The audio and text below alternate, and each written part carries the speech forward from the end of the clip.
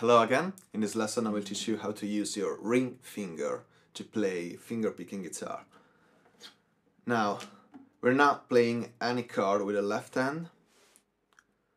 Let's try the position only.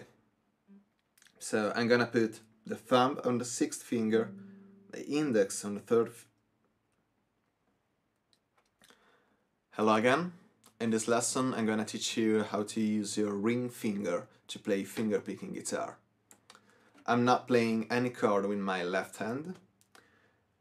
And so let's put the right hand in position.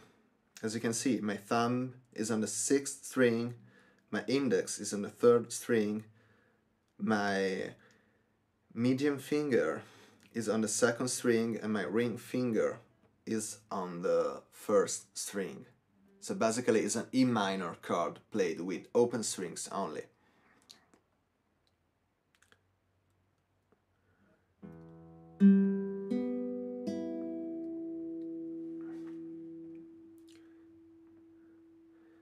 Let's try to play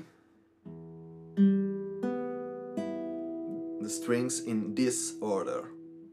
Let's say one note every two beats. So here we go. One, two, three, four. One, two, three,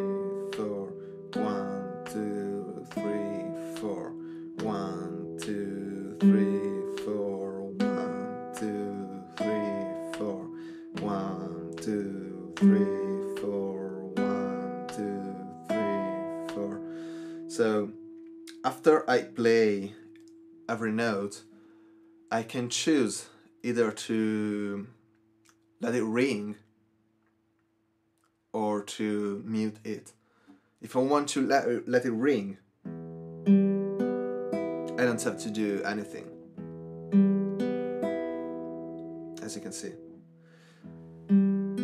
Want to mute them, I should try to mute them with both hands with my left hand and with my right hand if it's possible. It's up to whatever I'm playing in that moment. So I can try to put my hand here to mute some strings. Or otherwise I can try to stop the strings with my left hand.